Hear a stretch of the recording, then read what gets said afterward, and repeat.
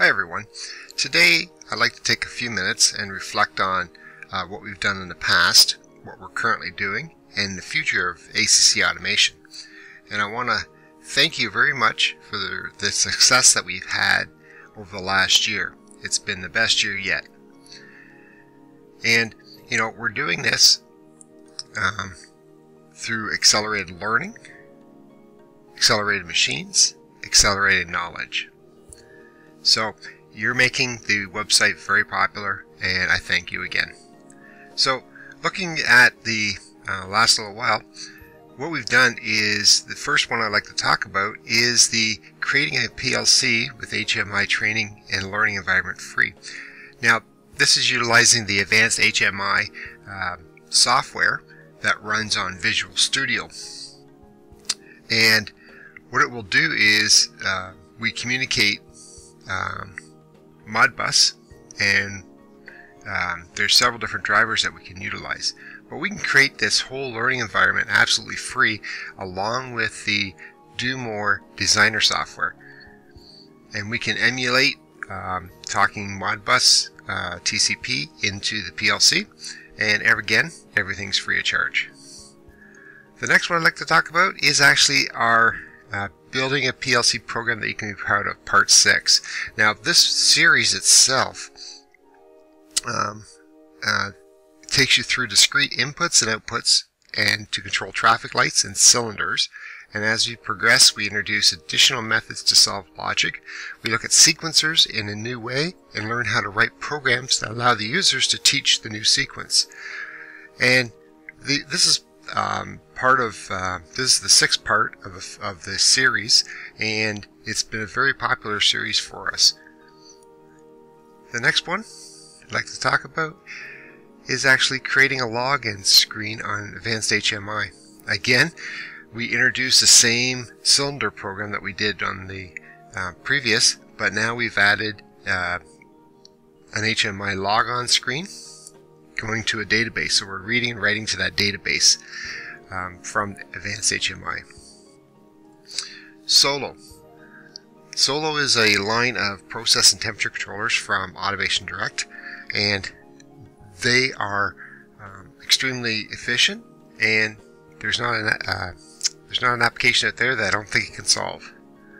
So, Solo temperature controllers, they've already come in. They're fully PID, uh, auto tuning. They also have all built-in communication. Uh, that's Modbus RTU, and that's fully on board. And as you can see by the picture, it comes in several different DIN sizes. The next thing we do is we have actually created a whole series last year called the, the Click. And the Click is via Automation Direct. Um, and as you can see, the series actually takes you through the hardware, software, numbering systems, communications, timers, counters, um, math instructions, the program control, shift registers, drum instructions, and then we use the send and receive, and that's uh, uh, instructions. And we also use uh, uh Modbus TCP using Advanced HMI, which is the last one of the series. This series, again, very popular for us, and I hope you enjoy it. The and we also have a video uh, uh, companion series that shows you the 12 videos that came with this series as well, and you can get that on YouTube. Next, we also had a we started a Horner uh, XL4 uh, series, and we're still in development of that. And what you can see here now is we have a few um, articles already, your system hardware, installing the software, um, the Cscape software, establishing communication, numbering systems, user interface. What this is, is a, a built-in PLC with HMI already on board, NEMA 4 rated on the front screen, and it will do several different protocols that you just download and implement including an HTTP web server as we're seeing on, on the screen here. Also, it will do the Modbus slave, uh, Ethernet IP, ASCII over TCP IP. So there's numerous open, uh, CANopen protocol. So again, numerous things that we can do with that Horner PLC. And a couple of things that worth mentioning, or once again, I should say, is the Horner. We do have every video that we've done, so far there's 17, is located at the um, Horner uh, website there, or the Horner, Horner uh, uh, log on our YouTube channel. So there's 17 there that you can actually watch. There are other three um, other blogs or posts that I'd like to mention. The first one is Understanding the PLC Program Scan. And that's a very interesting one because we actually dive right into the software and look at what happens when we have simple circuitry like we have here up top and what actually happens when we turn things on and off. Then we actually understand that we can actually turn on and off actual inputs.